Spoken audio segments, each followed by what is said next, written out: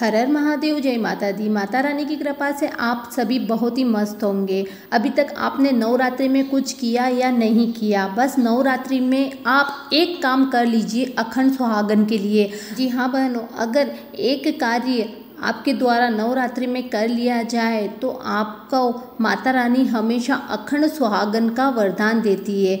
तो इस कार्य को करने के लिए आपको क्या करना है, किन सामग्री की आवश्यकता होगी, आप वीडियो को अंत तक ज़रूर देखिए। जो कार्य आप किसी भी दिन, किसी भी समय कर सकते हैं नवरात्रि के अंतर्गत, आपको करना क्या एक पान का पत्ता लेना है। उस पर आपको लौंग और पताशा रखना है। लौंग की संख्या और पताशा जितना आपकी मर्ज़ी आप रख सकते हो। उसके बाद आपको इसको किसी भी हनुमान जी के मंदिर या किसी भी माता स्वरूप मंदिर में रख कर आना है। आप ये कार्य कर रहे होंगे तो आपकी जो भी मनोकामनाएँ आप बोल दीजिए, आपकी मनोकामना ज़रूर पूरी होगी। दूसरा कार्य, जो भी मैं बता रही हूँ, आप अगर इनमें से एक भी कर लोगे तो आपकी मनोकामना ज़रूर पूरी होगी, आप अखंड सुहागन रहोगी। दूसरा और बहुत ही महत्वपूर्ण, आपके घर में खुशहाली बनी हुई रहे, सुख समृद्धि बनी हुई रहे, तथा वैभव आपके घर में बना हुआ रहे, इसके लिए नौ कन्याओं को घर में भोजन के लिए आमंत्रित करना है, उनके पाँव को धो करके उनका पूजन करना है कन्याओं को सप्रेम भोजन कराना है। इसके बाद सभी कन्याओं को आपको लाल चुनरियाँ ज़रूर ओढ़ानी है। इससे अखंड सौभाग्य अपना बना हुआ रहता है और उन्हें कुछ दक्षिणा या फल फ्रूट इत्यादि दे करके आप सप्रेम विदा कर है। उस उपाय की जिससे माँ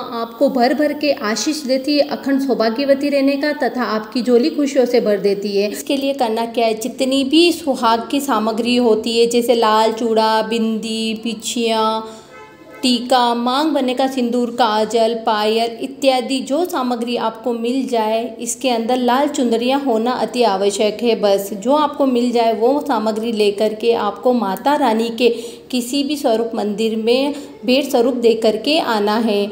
और आपको यही सामग्री सुहागन स्त्रियों को भी भेंट में देना चाहिए, जिससे माता रानी अति प्रसन्न होती है और अखंड सौभाग्यवती रहने का आशीष देती है। तो ये कार्य ज़रूर हर सुहागन को करना चाहिए और यह कार्य हम नवरात्रि में तो कर ही सकते हैं, नवरात्रि के बाद भी इन कार्यों को किया जा सकता है, जिससे हमारा घर खुशियों से भरा हुआ रहता है। आपको वीडियो पसंद आई हो तो चैनल को सब्सक्राइब ज़रूर करिए और ज़्यादा से ज़्यादा वीडियो को शेयर करिए।